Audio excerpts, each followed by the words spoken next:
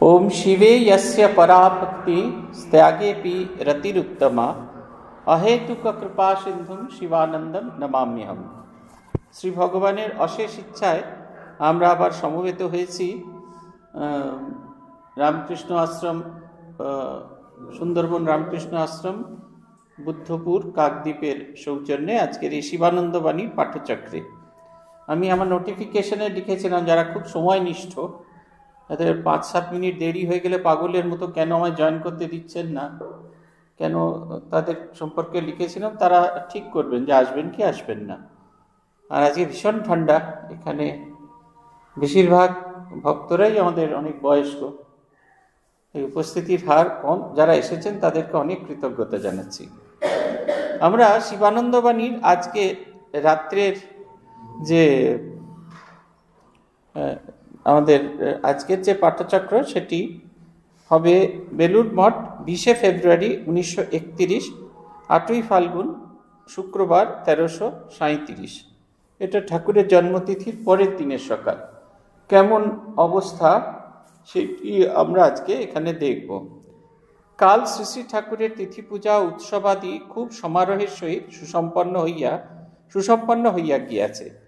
কাল সারা দিন রাতি মহাপুরুষ মহারাজ, মহাপুরুষ মহারাজের ভিতর যে ভগবত ভাবের আতিশয্য দেখা গিয়াছিল, আজও তাহা অনেকটা রহিয়াছে।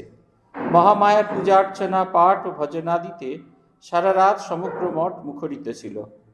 রাত্রি শেষে পূজান্তে হোম হয়, সেই হোমাগ্নিতে পরে বিরজা হোম ও ব্রহ্মচর্য হোম হয়েছিল।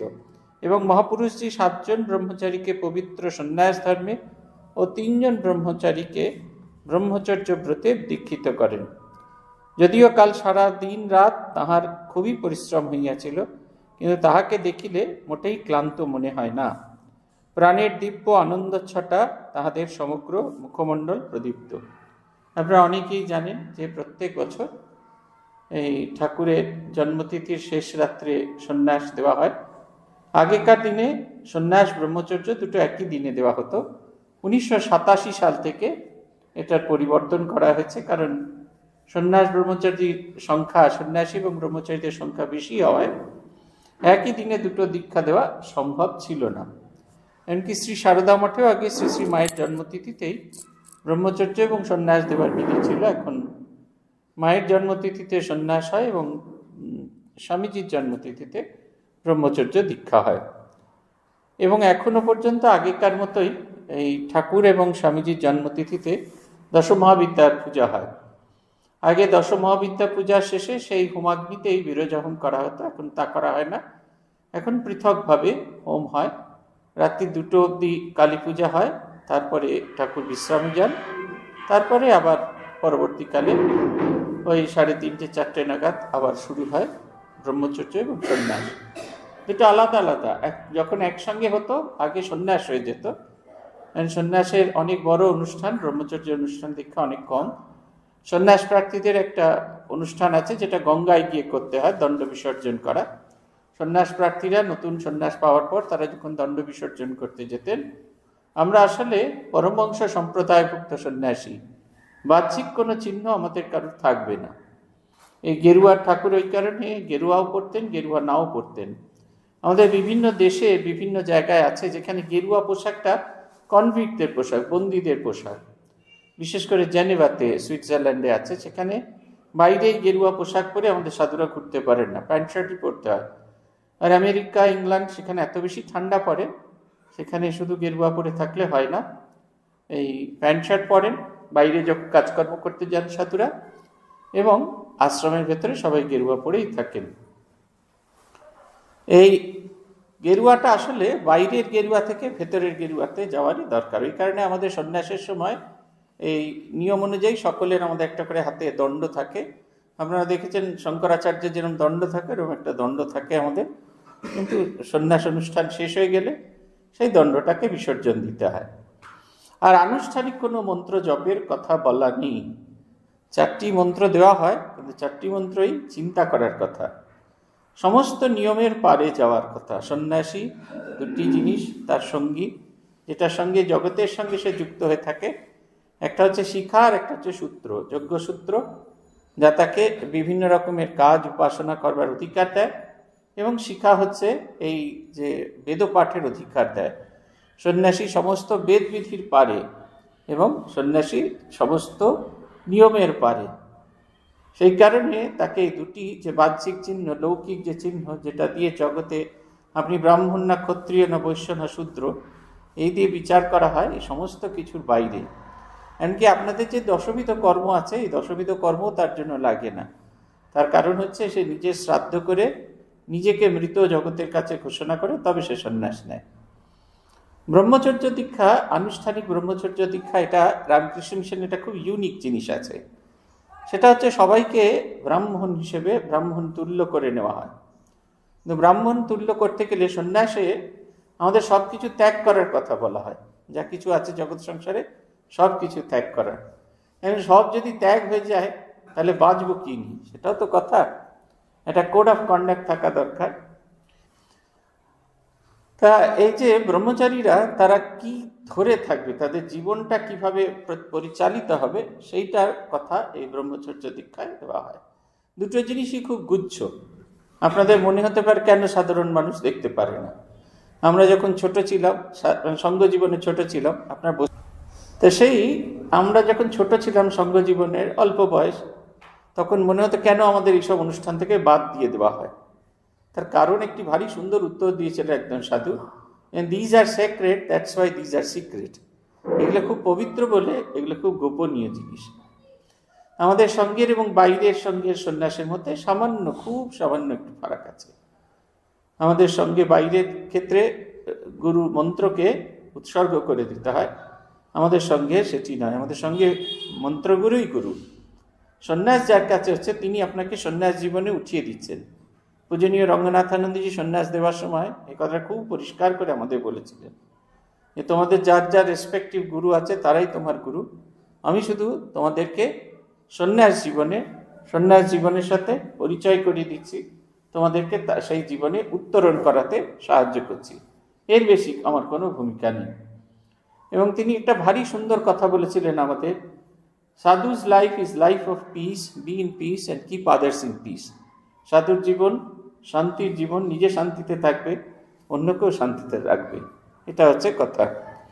এই যে উৎসবাদিতে যে মহাপুরুষ মহারাজের যে একটা অদ্ভুত আনন্দর কথা এখানে বলা হয়েছে, ভারী সুন্দর মানে পড়লেই কি আনন্দ হয় এটা।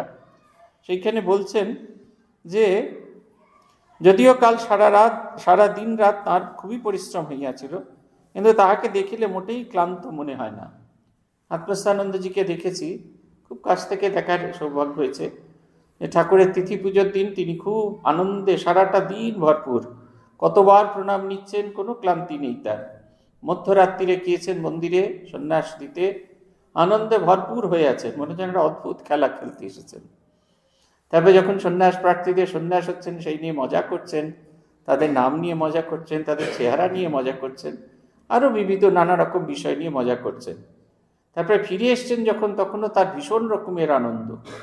আমার মনে আছে সেই মায়েরা যেরকম গালে হাত দিয়ে আদর করে, নতুন সন্ন্যাস প্রার্থীদের নাম দেওয়া হচ্ছে। মহারাজ নাম দেওয়ার পরে নতুন সন্ন্যাসীদের এরকম গালে হাত দিয়ে ছোট বাচ্চাদের যেরকম আদর করে, ঠিক সেরকম করে আদর করছেন। এই ছবিগুলো খুব, সারা রাত তিনি ব্যস্ত, সারা দিন তিনি ব্যস্ত ছিলেন, সারা রাত ব্যস্ত ছিলেন। তথাপি তার ভেতরে এতটুকু ক্লান্তি দেখা যাচ্ছে না। সন্ন্যাস প্রার্থীরা নবীন সন্ন্যাস প্রার্থীরা চলে যাওয়ার পরে মহারাজ প্রথম ভিক্ষা দেওয়ার পর তারা যখন চলে গেলেন, আমরা যারা বুড়ো সাধু, আমরা মহারাজকে প্রণাম করতাম। মহারাজ সেদিনকে পায়ে হাত দিয়ে প্রণাম করার সুযোগ দিতেন, পায়ে মাথা রেখেও আমরা প্রণাম করতাম। মহারাজ খুব প্রত্যেকের মাথায় হাত দিয়ে আশীর্বাদ করতেন, আনন্দে ভরপুর হয়ে থাকতেন। এটা একটা দেখা, এটা হচ্ছে ঈশ্বরীয় শক্তি। এই যে আমরা যদি একটা উচ্চ আধ্যাত্মিক জীবনযাপন করি, এই আনন্দের অধিকারী আমরা হই। এই আনন্দের অধিকারী, এটা শুধুমাত্র সাধুরা হবেন তা নয়, আপনারাও হবেন। এই আনন্দ, ঈশ্বর হচ্ছেন আনন্দ স্বরূপ। ভূতেশ আনন্দজি মহারাজকে একবার জিজ্ঞাসা করেছিলাম, আপনি এত রসিক কেন? মহারাজ বলেছিলেন, ঈশ্বর রসস্বরূপ। শাস্ত্রে তাই বলছেন, রস বৈশ্বর ঈশ্বর। রসস্বরূপ। আমি তাকে চিন্তা করি, তাই আমি রসিক। তুমিও তাকে চিন্তা করো, তুমিও রসিক হবে।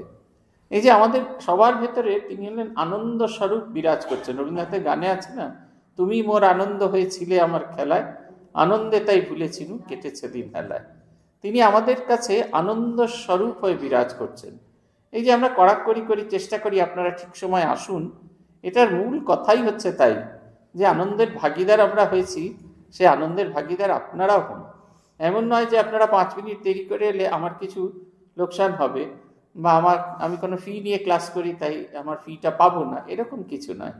আমরা যে এইসব ভগবানের কথা পড়লে, আমাদের নিজেদের ভেতরে যে আনন্দ হয় যে আনন্দটা আমরা অন্তরে উপলব্ধি করি, সে আনন্দটা সে আনন্দ আপনাদের ভেতরেও আসুক। আপনারাও সেই আনন্দটা উপলব্ধি করুন। চোখ বন্ধ করে ভাবলেই আপনারা অনুভব করতে পারবেন, মহাপুরুষ মহারাজ সেই সারাটা দিন আনন্দে ভরপুর হয়ে আছেন। এখন তো তবু প্রেসিডেন্টের অনেকটা দূরে রাখা হয়। সাধারণ মানুষের থেকে অনেকটাই দূরে থাকেন। বিশেষ করে বিশেষ বিশেষ দিনে যখন অনেক প্রণাম হয়, মহারাজ অনেক দূরে থাকেন। কিন্তু আগেকার দিনে তো যেই আসতো, সেই মহারাজের ঘরে ঢুকে প্রণাম করতে পারতো। এতটাই সহজ ছিল মহারাজের ঘরে যাওয়া। এখন না, সেরকম নেই, কিন্তু তথাপি সে অদ্ভুত আনন্দ। এবং ওরাও কিছুতেই কারুর কথা শুনতেন না, কিছুতেই কারুর কথা শুনতেন না। সারা রাত কাজ, থাকতে হবে মন্দিরে। তথাপি এতটুকু বিশ্রামের তারা সামান্য চেষ্টাও করতেন। তারা তাদের যা রোজকার যে রুটিন, সেইগুলোই আছেন। আমরা মহারাজকে দেখছি, মন্দিরে কাজ করছি। মহারাজ দেখছি, এসেছেন রাত্রিবেলা। কালী পুজো হচ্ছে ঠাকুরকে প্রণাম করতে এসছেন। আমাদের খুব খারাপ লাগছে। আমরা বলছি, মহারাজ, আবার রাত্রিরে আসতে হবে। তাতে কি হয়েছে? তাই বলে, এখন আসব না। উনি এলেন, এসে প্রণাম করলেন। ঠাকুর ঘরে বাইরে থেকে প্রণাম করলেন, করে ফেরত চলে গেলেন। কিন্তু এলেন। এই যে কি আনন্দে ভরপুর হয়ে আছেন। বলছেন, ও, তোমরা কাজ করছ? নতুন ব্রহ্মচারীদের, নতুন ব্রহ্মচর্য দীক্ষা আছে। সব ঠান্ডার সময় দীক্ষা হয় তো এক ধরনের এন্ডি চাদর দেয়, হলুদ রঙের দেখতে চাদরগুলো। সেই হলুদ রঙের চাদর পরে দেওয়া হয়েছে। মহারাজ বলছেন, দেখ কীরকম ঝকঝকে দেখাচ্ছে, মনে হচ্ছে সবার ভেতর থেকে যেন আলো ছড়িয়ে পড়ছে। এই আনন্দটা, এই আলোটার কিছু নেই ঈশ্বরীয় প্রকাশ, সেটা যেন তিনি পরিষ্কার দেখতে পাচ্ছেন। যত আমরা ঈশ্বরের কাছে যাব, তত আমরা যেমন আমাদের নিজেদের ভিতরে ঈশ্বরীয় প্রকাশকে অনুভব করতে পারব, বাইরে যে ঈশ্বরীয় প্রকাশ আছে, তা সেটা অনুভব করতে পারব। এখানে লেখা হচ্ছে, সকালে পূর্বরাত্রি পূজার পর সব রকম প্রসাদ আদি তার সামনে আনা হয়েছিল। তিনি খুব ভক্তিভরে চক্ষু মুদ্রিত করিয়া করজরে সেই মহাপ্রসাদকে প্রণাম করিয়া সব প্রসাদই আঙ্গুল দ্বারা স্পর্শ করিয়া জিহ্বাতে ঠেকালেন। আর সঙ্গে সঙ্গে কাতর প্রার্থনা করিতে থাকলেন, মা করুণাময়ী, মা মা, জগতের কল্যাণ করো, মা মা। তাহার সেই সকরুণ প্রার্থনার ধ্বনি উপস্থিত সকলের হৃদয়ে অন্তঃস্থল স্পর্শ করল। রাত্রিরে যে মহাপ্রসাদ, মা কালীর যে পুজো হয়, সেই পুজো সকালবেলা টিফিনে দেওয়া হয় আমাদের। এখনও তাই রীতি আছে, সেইভাবেই দেওয়া হয়। মহাপুরুষ মহারাজের কাছে ঠাকুরকে যা নিবেদন করা হয়েছিল, সেগুলো সব একটা থালায় করে, ছোট ছোট করে নিয়ে আসা হয়েছে। উনি আঙুলে করে করে সব কটা টেস্ট করছেন এবং প্রার্থনা করছেন, কি সুন্দর প্রার্থনা। বলছেন, মা করুণাময়ী, মা মা, জগতের কল্যাণ করো, মা মা। এই যে দেখুন, প্রার্থনার ভিতরে কোথাও কিন্তু আত্মকল্যাণ নেই। অথচ আত্মকল্যাণের জন্য প্রার্থনা করছেন। বলছেন, জগতের কল্যাণ করো। এই বিরাট জগতের যদি কল্যাণ হয়, তাহলে সেই কল্যাণ আমাকে স্পর্শ করবে। আমরা সবসময় আমাদের নিজেদের জন্য প্রার্থনা করি, আমার ছেলেটা যেন ভালো থাকে, মেয়েটাও যেন ভালো থাকে, নাতনির গল ব্লাডার যেন ঠিক সময় কাটা যায় হ্যাঁ কোনো যেন বিঘ্ন না ঘটে, কোনো কিছু না হয় সব কিছু আমরা শুধুমাত্র আমাদের নিজেদের জন্য প্রার্থনা করছি। অথচ জগতের জন্য প্রার্থনা করলে সেই জগতের ভেতরে আমি আছি। আলাদা করে আর নিজের জন্য প্রার্থনা করতে হয় না। অথচ এই জগতের জন্য প্রার্থনা করতে করতে আমাদের হৃদয়টা বড় হয়, প্রকাশিত হয়।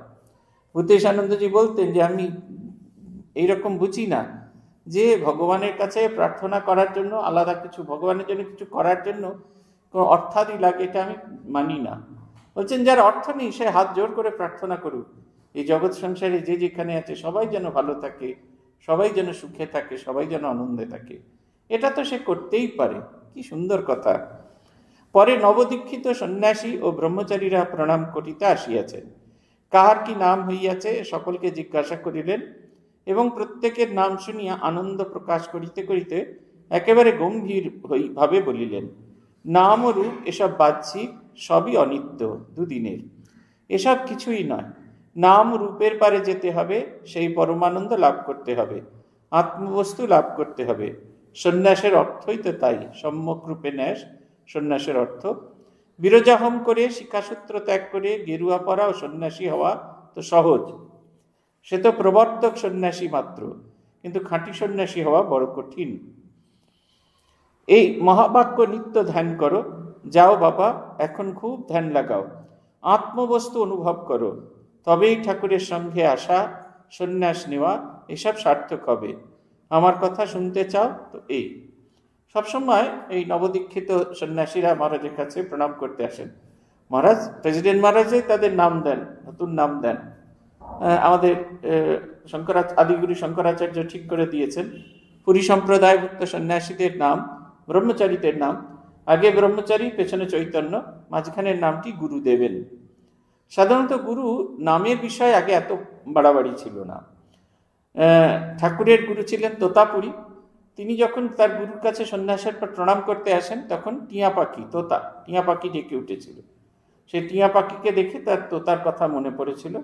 পাখি অসীমের প্রতীক, তাই তার নাম দিয়েছিলেন তোতাপুরী। তোতাপুরীর এক গুরু ভাই ছিলেন, চামেলিপুরী।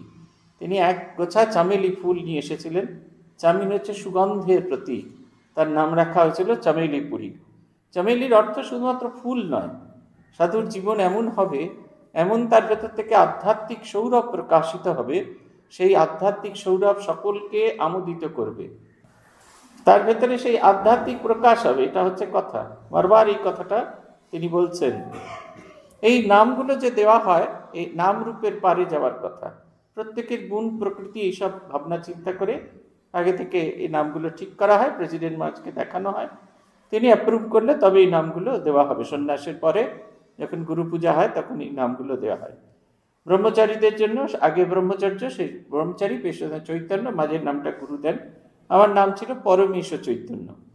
আর সন্ন্যাসের ক্ষেত্রে শঙ্করাচার্য ঠিক করে দিয়েছেন, স্বামী আনন্দপুরী, স্বামীটা আগে থাকবে, পেছনে আনন্দপুরী থাকবে, আর মাঝের নামটা গুরু দেবেন যেমন আমার পুরো নাম স্বামী স্তবপ্রিয়ানন্দ পুরী। পুরীটা আমরা বলি না, কচুরির সাথে খেয়ে ফেলি বলে। কিন্তু আদতে আমাদের যখন যোগ যোগ্যপট যোগপাঠ তাও কথায় বলা হয়, তখন পুরো নাম দিয়ে বলতে হয়, স্বামী স্তবপ্রিয়ানন্দ পুরী। আমাদের ওখানে একজন স্বামীজি আছেন, তিনি পুরো, তার পুরো সন্ন্যাস নাম দিয়েই বলেন। হ্যাঁ স্বামী প্রকাশানন্দ পুরী। এবং তিনি সহ্য করেন পিপি মানে Prakashananda Puri double P P square এইভাবেই করা উচিত। নাম রূপের পারে যাওয়ার কথা বলছে, এটা হচ্ছে সন্ন্যাসের আদর্শ। আমাদের যে নাম দেওয়া হয়েছে নামটা তো অনিত্য। নাম এবং রূপ দুটোই অনিত্য। ঠাকুরের শিষ্যরা কীরকমভাবে এই নাম রূপের পারে যেতেন, তার কতগুলো খুব সুন্দর উদাহরণ আছে। স্বামী ব্রহ্মানন্দজি মহারাজ, তখন তিনি সঙ্ঘের প্রেসিডেন্ট, আমাদের যে লেগেট হাউস যেটা আছে, আপনারা দেখেছেন, মা ঠাকুরুন ছিলেন। মঠের এখন আপনারা প্রসাদ পেতে গেলে দেখেন বাঁদিকে বিরাট বড় বাড়ি, লেগেট হাউস আছে। সোনার বাগান নাম ছিল বাগানটা। ফ্রান্সিস লেগেটের টাকায় কেনা হয়েছিল, তাই লেগেট হাউস নামটা। ওই বাড়িতে মা ঠাকুরুন এসেছিলেন। প্রথম দিকে সব বড় বড় মহারাজরা, বীরজানন্দজি তারপরে আমাদের অচলানন্দজি, এরা সব ওই বাড়িতে গম্ভীর গম্ভীরানন্দজি, ওই বাড়িতেই থাকতেন। আমাদের তো তখন বাড়ি টাড়ি ছিল না। বাড়ি সুন্দর, খুব সুন্দর বাড়ি। এমনকি প্রেসিডেন্টরা প্রণাম যখন প্রেসিডেন্ট হতেন, তার প্রথম ছবি ওখানে তোলা হতো। ওখানে একটা শ্বেত পাথরের বেঞ্চ আছে। অনেক এর আছে। প্রভু মহারাজ আছেন, তারপর কৈলাসানন্দজি, এদের সব ছবি, শঙ্করানন্দজি, এদের সব ছবি ওই বেঞ্চের উপর বসে তোলা আছে। সেই সোনার বাগান নেওয়া হবে।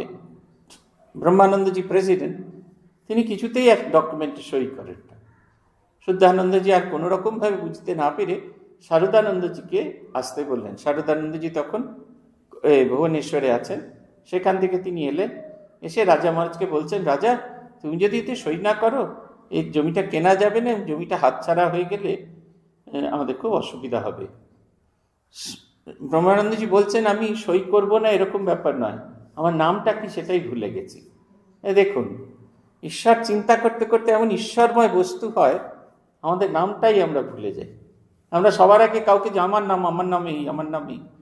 হ্যাঁ আমরা বলি না। আপনি আমায় চিন্তা পাচ্ছেন আমি এই এই নাম রূপে পারে যাওয়ার কথা। স্বামীজির জীবনে আছে, বিদেশি ভক্ত। তার বাড়িতে গিয়েছেন। তার বাড়িতে বিরাট বড় একটা বেলজিয়াম গ্লাসের আয়না আছে। স্বামীজি একবার করে সেটা দেখছেন, বেরিয়ে আসছেন, আবার সেটা দেখছেন। তিনি মিস ওয়ার্ল্ডোর্স ইয়েতে আছে, এটা স্মৃতি কথায় আছে। বলছেন, তিনি দেখছেন যে তিনি মনে করছেন, এই সাধুর এতদিনে একটা ত্রুটি খুঁজে পেয়েছি। এ নিজের রূপের প্রতি তার খুব ভালোবাসা আছে। স্বামীজি অন্তর্জামী বলছে না বাছা রূপের প্রতি ভালোবাসা নেই। আমায় দেখতে কেমন বেরিয়ে এলেই ভুলে যাচ্ছি। এই যে দেখুন, আমাকে আমাকে ফর্সা না কালো, আমি সুপুরুষ না কুপুরুষ, আমরা তো এই বিষয়ে খুব কনসিয়াস থাকি, তাই না? সবসময় অন্যের মোবাইল দিয়ে দিয়ে দেখতে চাই, আমাকে কেমন দেখাচ্ছে? বিয়ে বাড়িতে গিয়ে আপনারা দেখেন না? এবং বারবার জানতে চান আজকে সাজটা কীরকম হয়েছে? শেরবানিটা ঠিকঠাক মতো পড়া হয়েছে কিনা? আর বলতে থাকে, না, এই শেরবানিটা একটু টাইট লাগছে বা একটু ঢিলে লাগছে। আদতে কিন্তু ওগুলো নয়। আমায় কেমন দেখাচ্ছে সেটা বলো। সেটা হচ্ছে কথা। এই যে স্বামীজি বলছেন যে আমি কেমন দেখতে সেটাই ভুলে যাচ্ছি। যেই আয়নার বাইরে চলে যাচ্ছেন, সেই মানুষটা কেমন সেটাই ভুলে যাচ্ছেন। এটা হচ্ছে নাম আর রূপের পারে। এটা হচ্ছে সন্ন্যাসের আদর্শ অবস্থা। সন্ন্যাসীকে এই নাম এবং রূপের পারে যাওয়ার কথা বলা হয়েছে। রঙ্গনাথানন্দজি আমাদের সন্ন্যাস দেওয়ার সময় নাম যখন দেওয়া হলো, তারপর একটি ভারী সুন্দর কথা বলেছিলেন। বলেছিলেন make your name a successful one তোমার নামটাকে সার্থক করে তুলতে হবে। এই নাম রূপের পারে যদি আমরা না যেতে পারি, তাহলে আমাদের নাম সার্থক হয়ে উঠবে না। সন্ন্যাসের গুণে গুণান্বিত হওয়া। এই গুণে গুণান্বিত হওয়ার জন্যই চারটি মন্ত্র দেওয়া হয় আমাদের। মন্ত্র ব্রহ্মমন্ত্র পরমংশ গায়ত্রী, মহাবাক্য। এই চারটি মন্ত্র আমাদের আলাদা করে দেওয়া হয় সন্ন্যাসীদের। এই গুণে গুণান্বিত হওয়ার জন্য। গুণটা কি না? ব্রহ্মবস্তু। আত্মবস্তুতে মনকে স্থিত হওয়া, আত্মস্বরূপ হয়ে যাওয়া। তাকে চিন্তা করতে করতে, তাকে চিন্তা করতে করতে তার মতো হয়ে যাওয়া। আপনাদের অনেকেই বলেন, এই কি সুন্দর রান্না করেছিস, ঠিক তোর মায়ের মতো। তার মানে কি আপনার মা ভূতের মতো আপনার মধ্যে ঢুকে রান্না করে দিচ্ছেন? তা নয়। আপনি মায়ের ওই রান্নাটাকে অভ্যাস করতে করতে করতে করতে এমন একটা জায়গায় এসে পৌঁছেছেন, ঠিক আপনার মায়ের মতো রান্না করেন। এই তুই কি সুন্দর দোকানদারি করিস, ঠিক তোর বাবার মতো। তোর হাসিটা ঠিক তোর বাবার মতো। তার মানে কি আপনি রোজ ওই ছবি নিয়ে হাসিটা প্র্যাকটিস করেন? তা না। ওই হাসতে হাসতে ওই রকমভাবে তার সঙ্গে থাকতে থাকতে তার মতো হয়ে যাওয়ার ঠিক এরকমভাবে যখন আমরা ব্রহ্মবস্তুকে চিন্তা করতে করতে ব্রহ্মময় হয়ে যাই। এই জগৎ সংসারে ব্রহ্মময় অবস্থাটা কি? এই জগৎ সংসারে যা কিছু দেখতে পাচ্ছি সবকে আমি বলে বোধ হয়। দুসেরা না কই। যে মীরাবাইয়ের গান আছে না? ভারী সুন্দর, খুব সাংকেতিক শব্দে ব্যবহার করেছে। মেরে তো গিরধর গোপাল দুসরা না কই যাকে মানে মোর মুকুটে এ তার বর্ণনা আছে কিন্তু মেরে তো গিরধর গোপাল দুসরা না কই আমার গিরিধর গোপাল আছে আর কেউ নেই এটা হচ্ছে সামগ্রিক অর্থে একবারে সাধারণ অর্থে ধরা হয় কিন্তু এই জগৎ সংসারের কেউ নেই মেরে তো গিরধর গোপাল এই যা কিছু দেখছি সবই সেই গিরধর আমিও তারই প্রকাশ चमत्कार तेरी ज्योति का मैं तो एक दिया माटी का जलना बुझना হাত তোমারে হে মেরে রঘুনাথ। এই যে মীরাবাইয়ের ভজনে আছে, সেখানে আছে, আমি একটা ছোট্ট প্রদীপের মতো। আমি জ্বলবো বা নিববো সে তো তোমার প্রকাশ। আমি যদি তোমার মতো হয়ে যাই, তোমার মতোই আলোকিত হব, তোমার মতোই আলোকময় হয়ে যাবে। তাই বলছেন, এই বারবার করে বলছেন, আত্মবস্তু লাভ করতে হবে, আত্মবস্তু ঈশ্বর স্বরূপকে লাভ করতে হবে। এই নাম রূপ এসবই বাহ্যিক, এই যে নাম রূপ এগুলো বাহ্যিক। এই যে আপনারা এক একটা নাম রূপ ধারণ করে আছেন, অমুক বাবু অমুক বাবু, তমুক বাবু, আপনি একটা সময় চলে যাবেন। আপনার সেই খাতায় কলমে you will be declared as dead কিন্তু যখনই কোনো কাজ হবে, আহা, মেঘনাথবাবু যা করেছিলেন না, ওনার সময় মন্দির সম্প্রসারণ হয়েছিল। কি সুন্দর ভক্তদের মেঘনাথবাবু চলে গেছেন, হয়তো চল্লিশ বছর হয়ে গেছে। তো ভক্তরা যখনই এই কথা বলবে, বলে, কি সুন্দর। আগে একটা কি নেদাপোড়া মন্দির ছিল, এখন কি সুন্দর চওড়া মন্দির হয়েছে? মেঘনাথ বাবুর সময় এখানে দীক্ষা হয়েছিল। সবাই বলবে, এখানে প্রথম দীক্ষা হয়েছিল, কবে স্থাপিত হয়েছিল? সবাই কত চেষ্টা করেছে। মেঘনাথ শম্ভুবাবু কত ঘরে ঘরে গিয়ে সার্ভে করে করে লোকজনের নাম নিয়ে এসেছিলেন। এই দীক্ষার্থীদের নাম, তাদের বই পড়ানো হয়েছে কত মহারাজের কাছে কত ধমক খেয়ে করেছিলেন। আপনারা চলে যাবেন, কীর্তি থেকে যাবে। এই যে ঈশ্বরের কীর্তি, ঈশ্বরময় যত হবেন, তত তার কথা মনে হবে। আমরা যখনই কোনো কিছু রেফারেন্স দিতে তাই মাধবানন্দজির কথা বলি। এই কোনো রকম কিছু কেউ একজন বলছেন যে, একজন বলছেন যে, তিনি কোনো একটা কাজে খুব এক্সপার্ট সঙ্গে সঙ্গে মাধবানন্দজি একটা স্মৃতি কথা মনে পড়ল। একজন মাধবানন্দজির মাথা কামাতে আসতো। মাথা কামাতে আসতো মাধবানন্দকে সে বলছে, জানেন তো, আমি এক্সপার্ট নাপিতের মতো মাথা ঘামাতে পারি। মাধবানন্দজি বলছেন, এরকম ছোটোখাটো জিনিস ভাববে না। বলো আমি শিবের মতো ধ্যান করতে পারি। আমি দীর্ঘ সময় ধরে ঈশ্বর চিন্তা করতে পারি। সাধুর হচ্ছে, এটা হচ্ছে, সাধু কেন? প্রত্যেক মানুষের এইটা ভাবনা। নাপিত তো পয়সা দিলে, চারটি পয়সা দিলে মাথা কামিয়ে দিয়ে যাবে। তাতে তো এক্সপার্ট কিছু নেই। সেই যে বলছে না, তুমি গুরুগৃহে থেকে কি শিখে এলে? না, এই যে নদীর ওপর দিয়ে হেঁটে যেতে পারে বলছে, তো অত দু পয়সা পানসি দিয়ে হয়ে যাবে। ব্রহ্ম, গুরুগৃহে গিয়ে ব্রহ্মবস্তু লাভ করা হয়নি। কি লাভ করা হয়েছে? অকাল পাওয়ার। অলৌকিক ক্ষমতা। নৌকার নদীর ওপর দিয়ে পায়ে হেঁটে। তো পানসি নৌকা, দু পয়সা দিলে, দু পয়সা বিদ্যার জন্য চোদ্দ বছর কেন সময় খাটাবো এটা আমাদের সবসময় বুঝতে হবে। আধ্যাত্মিক বিদ্যায় যে দীক্ষা নিচ্ছি, মন্ত্র জপ করছি, তার একটাই উদ্দেশ্য, আমার ভেতরের মানুষটাকে বদল করা। আমার ভেতরের মানুষটাকে যদি বদল করতে না পারি, আজকে একজন প্রশ্ন করছিলেন, সব কিছু আমাদের মনের সৃষ্টি কেন? অবশ্যই আমাদের মনের সৃষ্টি। আমার যদি মনে হয় আজকে আমার মন খারাপ কিছুতেই আমি জগতের কোনো কিছুকে ভালো দেখতে পারব না। তখন যত খারাপ মনে হবে, আর দেখবেন যেদিন আপনি খুব আনন্দে আছেন, আপনার সব কিছু আনন্দময় বলে বোধ হবে। সবটাই মন থেকে সৃষ্টি করা, প্রত্যেকটা জিনিস, যা কিছু দৃশ্যমান, বাহ্যিক থেকে আভ্যন্তরীণ সব কিছু মন থেকে সৃষ্টি করেছি। আমি চাইছি তাই এই জগৎকে আমি সুন্দর দেখতে পাচ্ছি। আপনি এসেছেন, আমাদের একজন মানুষ এসেছেন, আমাদের মনে আছে রঙ্গনাথানন্দজি এসছেন, ফুলওয়ালা ফুল দিতে ভুলে গেছে, ফুলের মালা দিতে ভুলে গেছে। তা কি করা যাবে? তাড়াতাড়ি প্লাস্টিকের একটা রজনীগন্ধার মালা ছিল। সেটা সাবান জলে খানিক্ষণ রেখে ধুয়ে রোদ্দুরে একটু শুকনো করে ফুলওয়ালা দেয়নি। মহারাজ এসে গেছেন। চটপট মহারাজে এই ঠাকুরের গলায় পরিয়ে দেওয়া হয়েছে। মহারাজ এসেছেন, দেখছেন, খুব সুন্দর।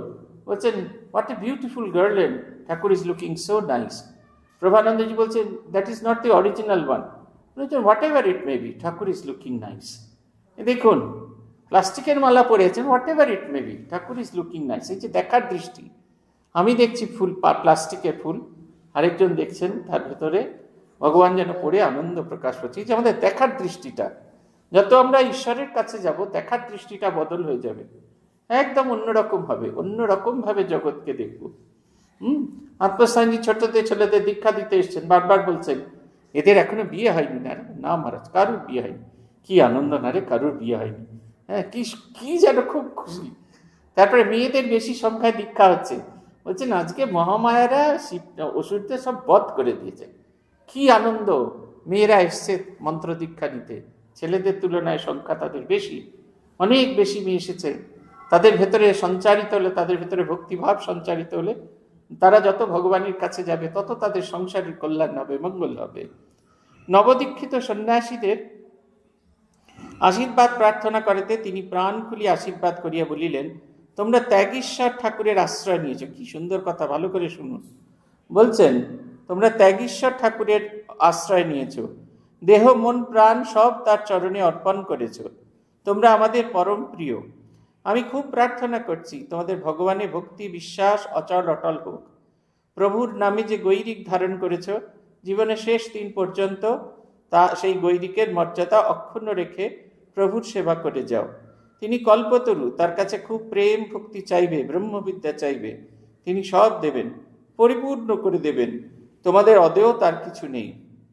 দেবী সুক্তে আছে, অহমেব স্বয়ং ইদম বদামি জুষ্টম দেবা বিরুত মনুষেভি यम কাময়ে তম সমুগ্রম কৃণোমি তম ব্রহ্মাণম তমিশ্রম তম সুমেধাম। বলছেন, ভগবান বলছেন যে দেবগণ এবং মনুষ্যগণ কর্তৃক প্রার্থিত সেই ব্রহ্মবস্তু আমি নিজেই বলছি। যাকে আমি রক্ষা করতে ইচ্ছা করি, তাকে তাকে সর্বশ্রেষ্ঠ করে থাকি। কাকেও ব্রহ্মা, কাকেও ঋষি, কাকেও বা প্রাজ্ঞ বা মেধাবী করে থাকি। এই যে আমরা যে হচ্ছে এখানে ভগবানের কাছে সবসময় ভালো জিনিস প্রার্থনা করতে হয়। আমার ভেতরে যা কিছু ভালো আছে সেগুলোর বিকাশ করে দাও। এটা হচ্ছে সবার আগের কথা। বলছেন, তোমরা ত্যাগীশ্বর ঠাকুরের আশ্রয় নিয়েছ। কি সুন্দর কথা। ত্যাগীশ্বর। আমরা গাই রোজ, ত্যাগীশ্বর হে নরবর, দেহপদে অনুরাগ। রোজ গাই, ত্যাগীশ্বর হে নরবর, দেহপদে অনুরাগ। তারপরে বাইরে, এই গেট থেকে বেরোতে বেরোতেই মনে হয় খুব ঠান্ডা পড়েছে। যদি এক কাপ চা, গরম গরম চা পাওয়া যেত, খুব ভালো হতো। ত্যাগ ঈশ্বর হে নরবর, দেহপদে অনুরাগ।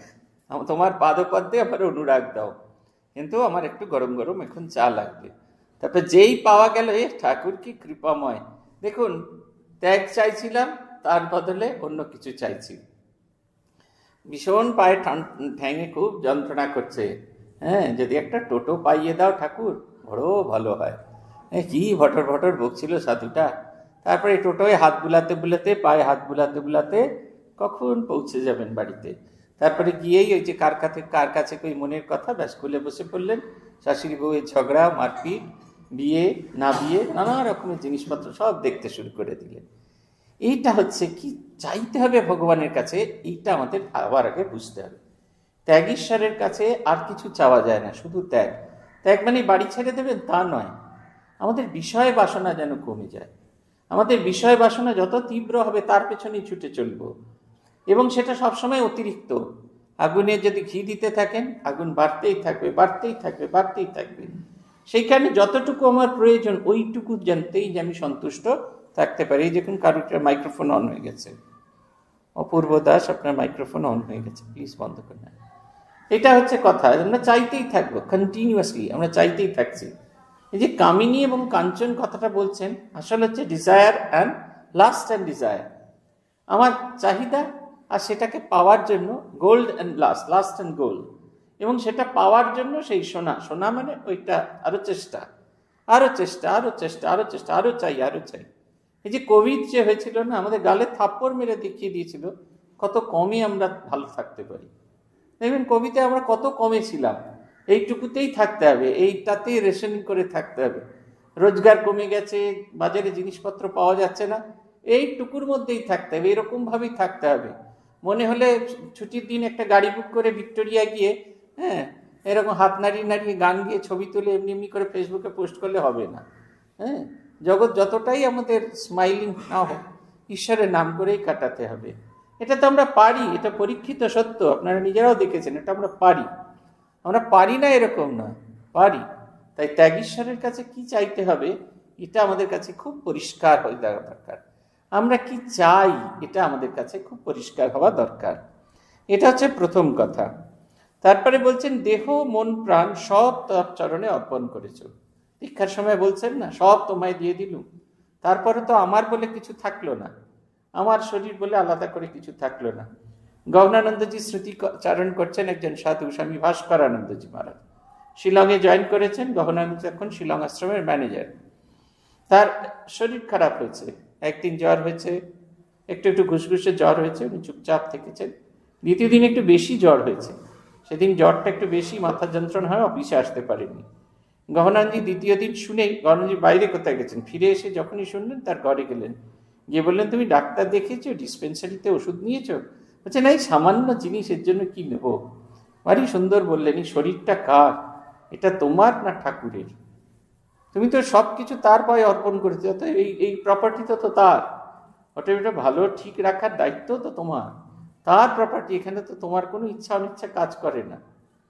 আমরা অনেক সময় যে নেগলেক্ট করি, এইখানে কোনো রকম কিছু নেই। তাই বলছেন সব কিছু তার। ভূতেশ আনন্দজি মহারাজের একানব্বই বছর বয়স, তার বাইপাস সার্জারি হবে। ডাক্তার থেকে একটু কিন্তু কিন্তু করছে। এত বয়স্ক মানুষ, তার বাইপাস সার্জারি করলে খুব কষ্ট। কিন্তু বাইপাস সার্জারি না করলে মহারাজকে তার যে শারীরিক কষ্ট, তার থেকে কিছুতেই মুক্তি দেওয়া যাচ্ছে না। গহনানন্দজি এসে জিজ্ঞেস করলেন, মহারাজ বাইপাস সার্জারির কথা ডাক্তাররা বলছেন এতে ভয় আছে। এই অপারেশন চলাকালীন আপনি মারাও যেতে পারেন। আপনি কি এটার অনুমতি দেবেন? আমরা একটু কিরম কিন্তু দ্বিধাগ্রস্ত। উনি বললেন, এই সংঘকে শরীর অর্পণ করে দিয়েছি। সংঘ যদি মনে করে যে বাইপাস সার্জারি করলে আমার ভালো হবে, তাহলে ভালো হবে। আর যদি সংঘ যদি মনে না করেন, তাহলে আমার ভালো হবে না। তাহলে আমার কোনো কিছু বলার নেই। আমার এ নিয়ে কোনো বক্তব্য নেই। একবারে ফর্ম তার স্মৃতি কথা স্মৃতি সভাতে গভর্নার প্রসঙ্গটা তুলেছিলেন। বললেন, আমি হতবাক হয়ে গেলাম। তো ফর্ম তার কোনো রকম সংশয় নেই। এই শরীরটা আমার নয়, এই শরীরটা সঙ্গকে উৎসর্গ করেছি। মহারাজ বলতেন, মহারাজ শুয়ে থাকতেন মহারাজকে শুয়ে আছেন? মহারাজ একটু মাথাটা তুলুন, প্রণাম করব। আমি তখন বাড়ি থেকে এসেছি তো। এরকম সংস্কার ছিল যে শুয়ে থাকা মানুষকে প্রণাম করতেনি মহারাজকে বলতাম, মহারাজ একটু মাথাটা তুলুন, প্রণাম করবেন বলছেন, আমি ডেড বডি একবারে প্রত্যয়। আমার শ্রাদ্ধ হয়ে গেছে, আমি ডেড বডি ডেড বডিকে তুমি শুয়ে থাকিয়ে করো আর বসে থাকাতেও করো। একই রকম। আমি ডেড বডি শুধু বয়ে নিয়ে চলেছি। শরীর চলে গেছে, আমি শরীর চলে গেছে, আমি শুধু বয়ে নিয়ে চলেছি বডিটাকে যখন শেষ হয়ে যাবে, সে ভাগাড়েই যাক আর যেখানে যাক তা নিয়ে আমার কোনো চিন্তা নেই। এই পরের অংশটা খুব ইম্পর্টেন্ট ঈশ্বর ব্রহ্মবস্তু লাভ যার হয়েছে, সেই রকম কথা বলতে পারে। যে আমার মন ভগবানের সঙ্গে লীন হয়ে গেছে। এই শরীরটা পড়ে আছে, খাঁচাটা যেখানেই যাক, সে কাকে খাক, শুকুনে খাক, তাতে কিছু নেই। যে উদ্দেশ্যে এসেছিলাম, সেই উদ্দেশ্যটা সারা হয়ে গেছে। আমাদের প্রশ্ন নিজেদের কাছে। অনেক বছর হয়ে গেছে দীক্ষা মন্ত্রতন্ত্র পেয়েছি। খুব ভগবানের কাছে আসছি। সাদা লাল পার কাপড় পরে অনেক আশা হয়েছে। কতটা মন সাদা হয়েছে, এটা হচ্ছে কথা। বলছেন, তোমরা আমাদের পরম প্রিয় আমরা খুব প্রার্থনা করছি তোমাদের ভগবানে ভক্তি বিশ্বাস, অচল, অটল হোক। দীক্ষার পরে পূজনীয় ভূতেশানন্দজি মহারাজ এই কথাটা খুব জোর দিয়ে বলতেন। আমি প্রার্থনা করছি তোমাদের সবার ভক্তি বিশ্বাস, অটল, অচল হোক। তারা আমাদের প্রার্থনা করতেন। মহারাজকে যতবারই চিঠি লিখতাম, উত্তরের শেষ লাইনে মহারাজ আমাকে লিখতেন, শ্রী ভগবানে তোমার ভক্তি, ভালোবাসা আরও গভীর হোক। অথবা, শ্রী ভগবানের প্রতি তোমার আরও বেশি আকর্ষণ, তুমি আরও বেশি আকর্ষণ বোধ করতে পারো। এই আমার কাছে এখনও আছে ষোলোটা চিঠি, প্রত্যেকটার আলাদা আলাদা, কিন্তু এই একটাই ভাবটা হচ্ছে এই, তোমার মন ভগবানের দিকে যাক। আমি ভালো আছি, তুমি ভালো আছি এই কোনো কথা নেই। তোমার মন যেন ভগবানের দিকে যাক। শ্রী ভগবানের প্রতি তোমার ভালোবাসা আরও গভীর হোক। বলছেন, নবদীক্ষিতদের তিনি বলছেন, প্রভুর নামে যে গৈরিক ধারণ করেছে গেরুয়াটা, এই গেরুয়াটা কেন? গেরুয়াটা দুটো জিনিস আছে। একটা হচ্ছে গেরুয়া আমাকে আমার ব্রতের কথা মনে করিয়ে দেয়। আমি বৈরাগী, আমি সাধারণ মানুষের মতো আচরণ করতে পারি। আমি চাইলেই গিয়ে চায়ের দোকানে বসে মমতা ব্যানার্জি সম্পর্কে আলোচনা করতে পারি না। বিজেপিকে মুন্ডপাত করতে পারি না। রাম মন্দির হলো কি হলো না সেই নিয়ে মুন্ডপাত করতে পারি না। এটা আমার কাজ নয়। আমার কাজ হচ্ছে বহুজন হিতায়, বহুজন সুখায়। এই ব্রতের কথা মনে করিয়ে দেয় আমার এই গেরুয়া পোশাক। এটা হচ্ছে কথা। দ্বিতীয় কি? না, সন্ন্যাসী যখন সব উৎসর্গ করে দেয় শিক্ষা সূত্র সব উৎসর্গ করে দেয়, তার একটা নতুন স্ট্যাটাস তৈরি হয়, তাকে বলে নিরগ্নি। মানে যে আর কখনো অগ্নি স্পর্শ করবে না, রান্না করবে না, কিছু করবে না। অথচ সন্ন্যাসীকে বলা হয় নিত্য বিরোজা হোম করবে, আমাদের নিত্য বিরোজা হোম করতে হয়। কেমন করে নিত্য বিরোজা হোম করব? আমি তো আগুনই জ্বালাতে পারি না, হোম করব কি করে? নিজেকে আগুন ভাবতে হয় তখন। নিজেকে আগুন ভেবে নিজের ভেতরে আহুতি দিতে হয়। আপনি যদি নিজেকে আগুন ভাবেন, তাহলে কি হচ্ছে? আগুন কি করে? সব কিছু পুড়িয়ে দেয়। যা কিছু অপবিত্র বস্তু সব কিছু পুড়িয়ে দেয়। আপনি বেলপাতা দিচ্ছেন, দেখবেন এই কাঠ ছিল, এই বেলপাতা ছিল ছাইতে রূপান্তরিত ঠিক ওই রকম, যত নিজেকে আগুন মনে করবেন, তত আপনি পবিত্র স্বরূপ হয়ে যাবেন। অপবিত্র ভাব আপনার কাছে আসতেই পারবে না। আমরা যখন মহারাজের কাছে যেতাম, আমাদের কোনো রকম চিন্তা থাকতো না। কত কি বলব বলে ভেবে রেখেছি। যারা মহারাজের কাছে সাংসারিক কথা বলতেন, তারা তো অবশ্যই আমার প্রণম্য গুরুস্থানীয় তাদের কথা আলাদা। কিন্তু আমরা যখন ছোটরা যেতাম, কত কি বলব ভেবে রেখেছি, এরকম হচ্ছে এরকম হচ্ছে না, মনের এইরকম হচ্ছে, মনের ওই রকম হচ্ছে না। মহারাজকে গিয়ে একবারে মহারাজকে গিয়ে প্রণাম করে, মহারাজ যখন হাসতেন আমাদের দিকে তাকিয়ে, সেই ঠাকুরের কথা, রবীন্দ্রনাথ ঠাকুরের কথাটা মনে হয় তব মুখ সদা মনে জাগিতেছে সঙ্গপনে, তিলেক অন্তর হলে নাহেরি কুলো কিনারা। কখনো বিপথে যদি ভ্রমিতে চাহে এরদি অমনীয় মুখ হেরি স্মরণেশে হয় সায় সারা এক অদ্ভুত অদ্ভুত একটা পবিত্রতার মূর্তি। এই পাবক সদৃশ্য হওয়ার জন্য এই গেরুয়া ধারণ করা। আর বলছেন, তিনি কল্পতরু, তার কাছে খুব প্রেম ভক্তি চাইবে, ব্রহ্মবিদ্যা চাইবে। তিনি সব দেবেন, পরিপূর্ণ করে দেবেন, তোমাদের অদেয় কিছু নেই। ভগবান অনেকটা কল্পতর, কল্পতরুর অদেয় কিছু নেই। ভগবানের কাছে আলাদা করে চাইতে হয় না। এই অন্যান্য কিচ্ছু চাইতে না তিনি জানেন কি দেবেন, তথাপি তার কাছে নিত্য ভক্তি প্রার্থনা করতে হয়। কীরকম ভক্তি? তোমাকে যেন ভালোবাসতে পারি, তোমার প্রতি যেন আমার মতি হয়। তার প্রতি যেন সবসময় আমার ভালোবাসা থাকে, উচ্চ চিন্তা উচ্চভাবে যেন জীবন যায়। চণ্ডীতে তিনি বলছেন যে, আমি এই সব কিছু করি, যে যা কিছু করে দিচ্ছি, সবই আমার কৃপায় হচ্ছে। দেব ও মনুষ্য প্রার্থিত সেই ব্রহ্মবস্তু, তিনি নিজেই কৃপা কৃপা পরবশ হয়ে উপদেশ করছেন। আর যাকে যাকে ইচ্ছা করেন, তিনি কৃপা কটাক্ষে ব্রহ্ম ঋষি ইত্যাদি তৈরি করেন। তিনি তো কৃপা করবার জন্য হাত বাড়িয়ে আছেন, চাইলেই দেন। অতঃপর তিনি এই শ্লোকটি বারংবার আবৃত্তি করতে থাকলেন। এটি শ্রী চৈতন্য শিক্ষাষ্টকম থেকে নেওয়া। বলছেন, না ধনম, না জনম, না সুন্দরীম, কবিতাম বা জগদীশ কাময়ী মম জন্মনি জন্মনি মম জন্মনি জন্মনীশ্বরে ভবতা ভগবত ভক্তির অহৈতুকি ত্বয়ী এইটা বলছেন, হে হে জগদীশ, হে জগদীশ্বর, তোমার কাছে এই জিনিসগুলো আমি চাই না। কি কি চাই না? না ধনম, অর্থ আমার প্রয়োজন নেই। না জনম, আমার মানুষজন, আমার অনেক সঙ্গী হবে, এটা আমি চাই না। না সুন্দরী আমার যে খুব সুন্দর স্ত্রী বা স্ত্রী সুন্দর বর হবে, এটাও চাই না। কারণ সৌন্দর্য একটা সময়, এই দেখবেন আপনারা, আপনাদের বিয়ের ছবিগুলো যে দেখে এই খেলাটার যে বিয়ে হয়েছিল কদিন আগে সে বিয়ের সময় আজকে দেখছিলাম, যাচ্ছিল, সে কি কালো কি কালো, কিন্তু কি সুন্দর দেখাচ্ছে, একটা নীল রঙের পাঞ্জাবি পরেছে, আর সে কপাল জুড়ে এত সুন্দর করে ছেলেটা চন্দন মাখা বিয়ে করে ফিরে যাচ্ছে, দেখছি, কি সুন্দর দেখাচ্ছে। পায়েকটা সেই নর্থ স্টার জুতোর মতো পরে আর লটর পটর করতে একটা নীল রঙের পাঞ্জাবি আর একটা ক্রিম কালারের ধুতি পরে যাচ্ছে।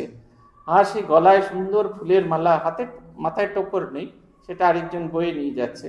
কি সুন্দর দেখাচ্ছে।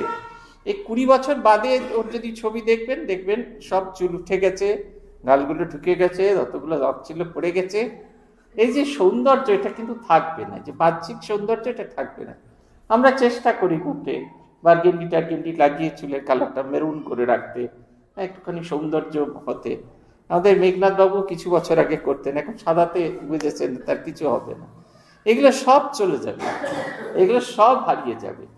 যেটা থেকে যাবে সেটা হচ্ছে অন্তর সৌন্দর্য। আমার ভেতর থেকে যদি আমি সুন্দর না হতে পারি, তাহলে কিন্তু হবে না। আপনারা অনেকেই ভূতেশ আনন্দকে দেখেছেন, এখানে অনেক শিষ্য আছেন, বা তার শিষ্য না থাকলেও তাকে দেখেছেন। ভূতের মতো কালো কি খারাপ লেগেছিল প্রথম দিন দেখে।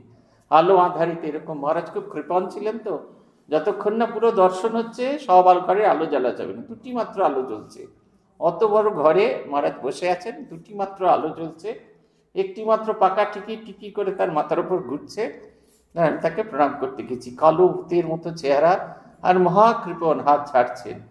কিন্তু যখন হাসলেন, মনে হলো একবারে ভেতরটা শুদ্ধ, একবারে আনন্দে ভরপুর হয়ে গেল। তাই বলছেন এগুলোর কোনোটা আমার চাই না। কারণ কবি, আর বলছেন কবিতাম বা জগদীশ। কবিতা মানে কবিতা নয়, পণ্ডিত, জ্ঞানী, সর্বজ্ঞ। আমি তাও হতে চাই না। তাহলে কি চাই? বলছেন, মম জন্মনি জন্মনীশ্বরে ভবতাৎ ভক্তি অহৈতুকি ত্বয়ী। জন্ম জন্মে, প্রতি জন্মে তোমার প্রতি যেন আমার সর্বদা ভালোবাসা হয়। তোমার প্রতি যেন আমার ভক্তি তৈরি হয়। এইটার কথা তিনি বলছেন। পরে সন্ন্যাসীরা কোথায় মাধুকরী করতে যাবে ইত্যাদি দু চার কথা পরে বলতেছেন, গেরুয়া পড়লে কিন্তু বেশ সুন্দর দেখাই যে দেখুন, দৃষ্টিটা আলাদা হয়ে যাচ্ছে। আমরা কিন্তু এভাবে দেখি না। বাইরের গেরুয়াই সব নয় বাবা। ভেতরটা রাঙিয়ে নিতে পারলে তাই হবে। সেই হচ্ছে আসল জিনিস। গেরুয়া পড়লে সত্যি খুব সুন্দর দেখায়। যেমন নতুন বিয়ে হলে খুব সুন্দর দেখায়, সেরকম গেরুয়া পড়লে খুব সুন্দর দেখায়। আমরা নিজেদেরই দেখে নিজেরা চিনতে পারছিলাম না, এত সুন্দর দেখাচ্ছিল। হ্যাঁ নিজেদের দেখে যখন ছবি তোলা হলো, তৃতীয় দিন, তারপরে সেই ছবি যখন ক্যামেরাতে এখন তো ডিজিটাল ক্যামেরা স্ক্রিনে দেখা যায়, তখন সদ্য সদ্য এরকম স্ক্রিন এসেছে, তাতে দেখলুম নিজেদের খুব সুন্দর দেখাচ্ছে। এত সুন্দর দেখাচ্ছে, আমরা ঠিক এতটা সুন্দর নই। এই যে আগুন, এই আগুন আপনাকে জ্যোতির্ময় করে দেয়। আপনারা যখন ঠাকুরের সামনে প্রদীপ জ্বালেন, দেখবেন সেই প্রদীপের আলোর যদি ছবি আপনি নেন, আপনাকে খুব সুন্দর দেখাচ্ছে। এটা হচ্ছে আগুনের কাজ, আপনার ঔজ্জ্বল্য বাড়াচ্ছে। আমার মনে আছে, আগে আমি খুব ডিপ গেরুয়া পড়তাম প্রথম দিকে, একবারে সেই জানতুম না তো, একবারে সেই লালচে গেরুয়া পড়তাম। আমাকে একজন খুব উপহাস করে বললেন, এখানকার সব সাধুরা কি সুন্দর হালকা হালকাই, আমার মতো এখন হালকা হালকা গেরুয়া পরে? আপনি এত ডিপ গেরুয়া কেন পড়েন আমার তো সবসময় বদমাইশিগতি মাথায় করে আমি বললাম যে, না, আসলে ওরা অনেক বছর তো সন্ন্যাসী, ওদের ভেতরে গেরুয়া হয়ে গেছে, বাইরে গেরুয়াটার প্রয়োজন নেই। ওদের বোঝাতে হচ্ছে না যে গেরুয়া, কিন্তু আমাকে বাইরেও নিজেকে বারবার করে প্রমাণ করতে হচ্ছে, আমি সন্ন্যাসী আমি সন্ন্যাসী। যখন এটা প্রত্যয় হয়ে যাবে, তখন আর এই বাইরের গেরুয়ারটা এত ডিপ আমার প্রয়োজন হবে না। আমি নিজেই মনে করতে পারব আমি সাধু। সাধুর এটা হচ্ছে বৈশিষ্ট্য, তাকে আলাদা করে মনে করতে হবে না। এই যে আপনারা যারা ভক্ত, আপনাদের এটা বৈশিষ্ট্যই। আপনাদের আলাদা করে ভক্তি করতে হবে না। আপনি ভক্ত, জন্মে জন্মে তার ভক্ত। ভালোবাসায়, তার ভালোবাসাতে একবারে বদ্ধ হয়ে আছেন। তার ভালোবাসাতে একবারে সম্পূর্ণ যুক্ত হয়ে আছেন। এটা যদি না হয়, তাহলে জানবেন ভগবানের কাছে আসা বৃথা আমার তো মনে হয় তার কাছে এলেই হবে। তার কাছে এলে যত আসবেন, তত দেখবেন। যত বেশি করে আসবেন, তত বেশি হবে। তুলনা দেয়া হচ্ছে সেই চন্দন কাঠ, জল আর সেই চন্দনের এটার ভেতরে। যত ঘষতে থাকবে, যত ঘষতে থাকবে তার ভেতরে সেই চন্দনের সৌরভ, ওইখানেই বসবার সুযোগ হলো ওনার পায়ের কাছে, এখানে এসে বসুন। উনি একটু পা ছড়িয়ে বসবেন, সেইটুকু সুযোগ নেই। বলছেন, যত সৌরভ, যত চন্দন ঘষা যাবে, তত তার ভেতর থেকে সৌরভ বেরোতে থাকবে। ভগবানের কাছে যত আসবেন, তত। এই যে রামলালা বিগ্রহ দেখবেন, প্রথম কষ্টি পাথরের মূর্তিটা দেখা যাচ্ছিল, তখন তার হাসিটা একরকম ছিল। তারপরে হাতে সোনার ধনুক লাগানো হলো, তখন তার হাসিটা একরকম। ছোট্ট শিশু, আপনি বাইরে নিয়ে, ঠিক আমার দেখে খালি মনে হচ্ছিল একটা বাচ্চা ছেলের মতো কোলে করে বেড়াতে নিয়ে বেরিয়েছি। প্রথমে একটা ফাইভ স্টার কিনে দিয়েছি, খুব হাসছে। তারপরে আবার নিয়ে যাওয়া হয়েছে, আবার একটা কমলা লেবু কিনে দেওয়া হয়েছে, সেটাকে আরও হাসি। সোনার ধনুক কমলা লেবুটা। আর তারপরে যখন ওই ক্যাডবেরি প্যাকেটটা কিনে দেওয়া হয়েছে, তাতে ফাইভ স্টার আছে জেমস আছে, সব আছে, বাচ্চারা যেরকম খিলখিল করে আসে খিলে খিলাতি উঠাতে ধাই গিরে তো ভূমি, লটপটাই। তুলসীদাস যে লিখছেন অপূর্ব। সেই যে বর্ণনাটার কালকে দেখছিলাম, একটু একটু করে সব সোনার মুকুট পরানো হয়েছে, তার একটা ছবি, তারপরে সব সাজানো গোছানো হয়েছে, তার একটা ছবি, প্রাণ প্রতিষ্ঠার পরে ছবি ক্লোজ আপ শট চোখটা এত সুন্দর, মনে হচ্ছে জীবন্ত। হাসিটা এত অপূর্ব, মনে হচ্ছে এরম হাসি কেন আমি হাসতে পারি না? হাসি দেখে আনন্দ। আপনারা যারা তিরুপতি বালাজি দেখেছেন, তিরুপতি বালাজির এটা একটা বৈশিষ্ট্য, তার হাসিটা অপূর্ব হাসি। ওই হাসি দেখলে সারাটা জীবন আপনার আর কোনো দুঃখ থাকবে না। আমরা যখন গেছি ওই এতে কন্যাকুমারিকায়, কন্যাকুমারিকার মূর্তির বর্ণনা শুনেছি, রাজা মহারাজ বলছেন যে একটা হাত কোমরে দেওয়া আর একটা হাতে জপমালা আছে। আর বাচ্চা মেয়ের মতো খিলখিল করে মা হাসছেন, রাজা মহারাজের বর্ণনা। রাজা মহারাজ দেখেছেন, তার এরকম দর্শন হয়েছিল।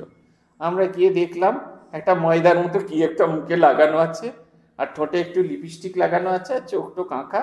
সেরকম সে দক্ষিণ ভারতে এরকম করে মূর্তিটার আছে পরের দিন ভোরবেলা মহাস্নান হবে, গেলাম। যেচেই পুলিশ থেকে বলল, আসুন, টিকিট কেটে কাটলাম, কেটে ভোরবেলা চারটের সময় গেলাম। চুপটি করে দাঁড়িয়ে আছি আমরা, গোটা আষ্টেক লোক হবে মহাস্নান দেখতে এসেছি। প্রথমে ওই যে পোশাকটা, সেটা খুলে একটা অন্য পোশাক পরানো হলো মাকে।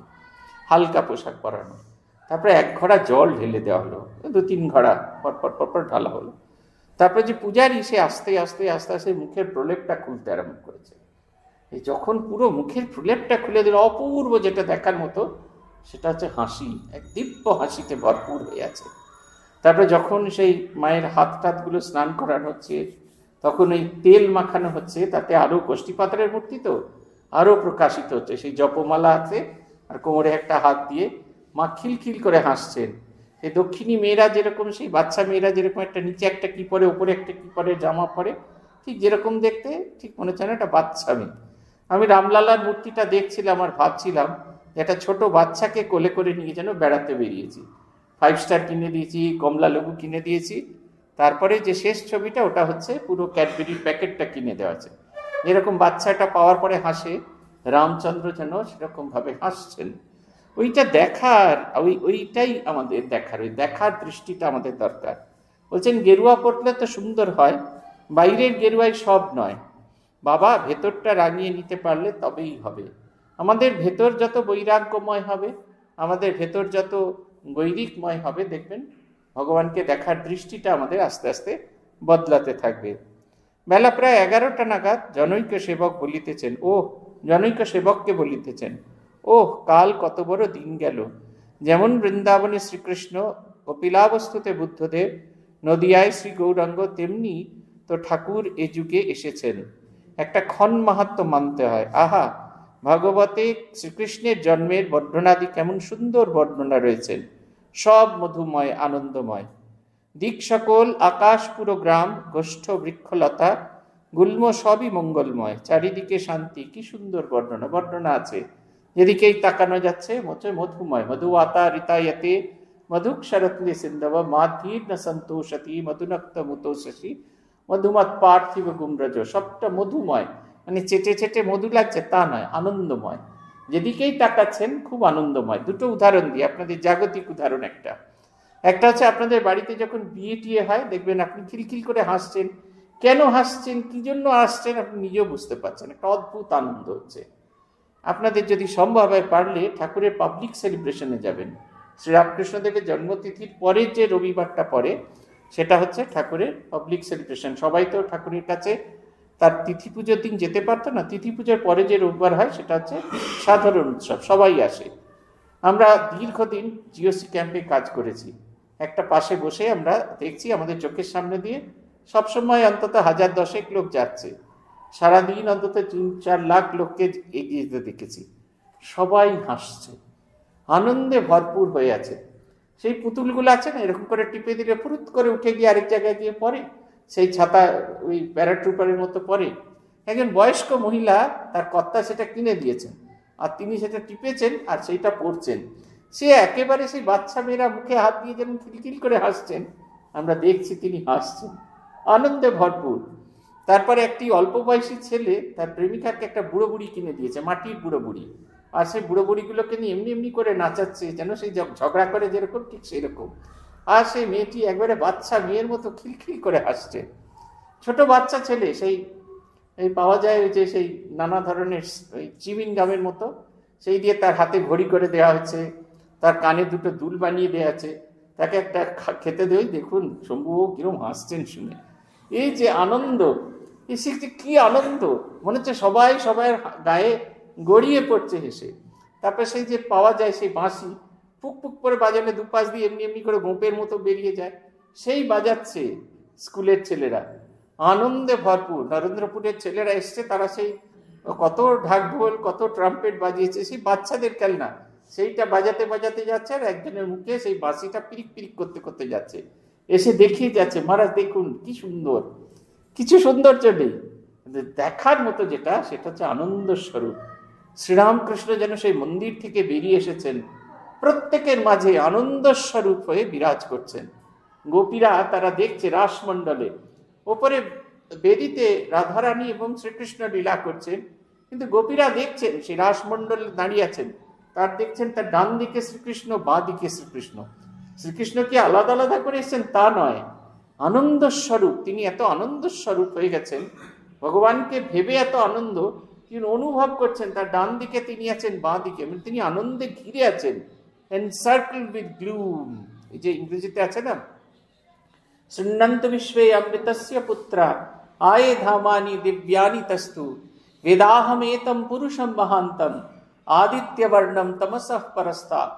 তমেব বিদিত্বাতি মৃত্যুমেতু নান্যা পন্থা বিদ্যাতে অয়নায় রবীন্দ্রনাথ কি সুন্দর বাংলা করেছেন শোনো শোনো সুরলোকবাসী অমৃতের যে আছো সন্তান জানিয়াছি সেই অবিনাশী জ্যোতির্ময় পুরুষ মহান তপন বরণ তিনি আধারেরও ওপারে যিনি যাহারে জানিলা জীব মরণ এড়ায় আমার আর কোনোদিন মৃত্যু হবে না।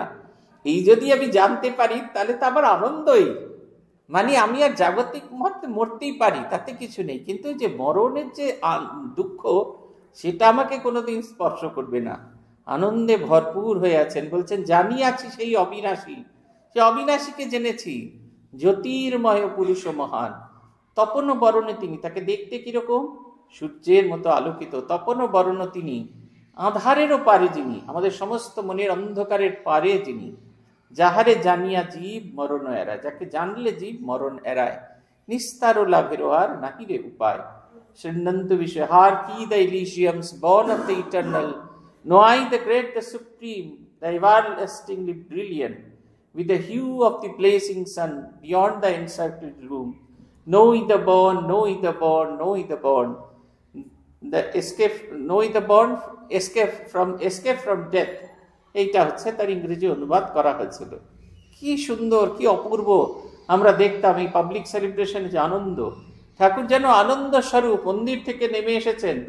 সেদিনকে সবাই ঠাকুরের কাছে যাবেন। ঠাকুর দুপুরবেলা যেরকম খান, সেরকম নয়। দশটার সময় টুকটুক করে ঠাকুরের কুড়ি মিনিটের জন্য খাবার বন্ধ হলো। ঘর বন্ধ হলো। ঠাকুর তাড়াতাড়ি করে খেয়ে নিয়ে ঘ্যাঁট হয়ে বসে আছেন। সারাদিন সবাই তাকে দর্শন করছে। তার কোনো ক্লান্তি নেই। বিকেলবেলায় লুচি, আলুর ছক্কা একটু খেলেন। খেয়ে আবার গ্যাঁট হয়ে বসে আছেন?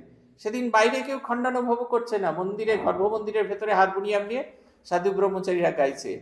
আনন্দে ভরপুর। আগে যখন বাজি পড়ানো হতো আমাদের সময়, আমরা বার্জে ব্যবস্থা করছি, গঙ্গার মধ্যে। মনে হচ্ছে ঠাকুর যেন আনন্দে ভাসছেন।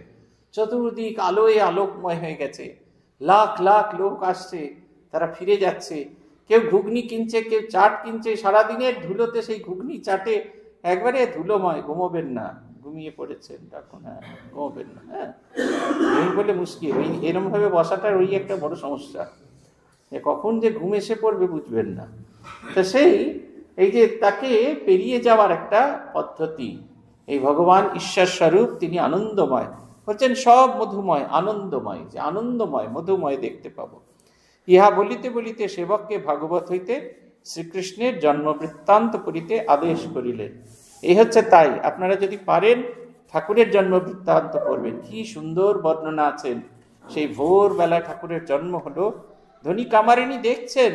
তিনি সেই শ্রীরামকৃষ্ণ, সেই ছোট্ট গদাধর, সে ফুরুত করে সেই গায়ের সেই যে নানা জিনিস লেগেছিল, সেটা মাটিতে পিছিয়ে দেখিয়ে সেই ধান ধান ইয়ে করার যে উনুন, সেইটাতেও ঢুকে গেছে। ছাইটাই মেখে গেছে, বার করে নিয়ে এসছেন হচ্ছে ছ মাসের শিশু, বড় বড় আকার। তাড়াতাড়ি ধুয়েছেন, বলছেন, একবারে চারিদিক থেকে যেন আলোয় আলোকিত হয়ে যাচ্ছেন। হেরি হাসি হাসি, ব্যাকুল হৃদয়ে বুক চিরে রাখি মনীষা দয়।